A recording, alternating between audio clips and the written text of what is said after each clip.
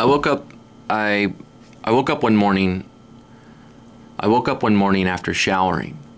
I walked out into the hall by the closet, the one that housed the AC units and vents, and I heard this little rumble, like a small twiddling through some plastic bags, the ones that I had kept some nails in and staples for lining my telephone Ethernet. It was a possum, and he was still alive, his nose twitching. He or she, it, it was still a baby. It must have fell through the gap in the ceiling, the ventilation duct.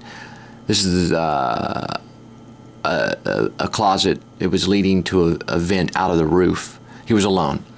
There was no food. There was no water. Scared, I'm sure. Or perfectly content. I'm no possum, so it was a little hard to empathize with this circumstance of being there all alone, no home or mother, or some utility closet in a tool bag. In this case, it was a pet bag being used as a tool bag. Cold, I called the maintenance guy in our complex and reported I had a loose varmint in my household.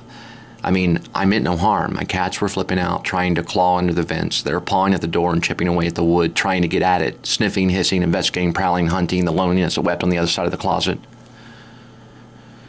That's what cats do when they're approached with a little caged animal on the other side. They were hunting the loneliness that wept on the other side of the door, the innocence, the young life. The very next day, the little intruder was gone, supposedly taken away and caged. And the maintenance people were going to release it into the wild. And Kenny, the maintenance manager, he told me it would happen.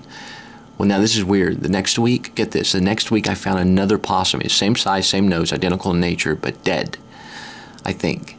I'm no possum, but I do believe they are known to play dead in self defense. But this one wasn't moving his nose like last time. Smelled dead surely it had found its way or fell through a gap and got trapped, the same gap, and got trapped, and that was supposed to be repaired in the first place in a utility closet. It must have fell down searching, maybe smelled its mother or brother or sister or twin brother or twin sister or whoever was first discovered in the cage in the beginning, and I guess released into the wild. I figured the dead possum must have starved to death, there was no food, no water, and that's what happens to life when trapped in a utility closet and shut off from the world behind a closet for too long. At least to this little guy.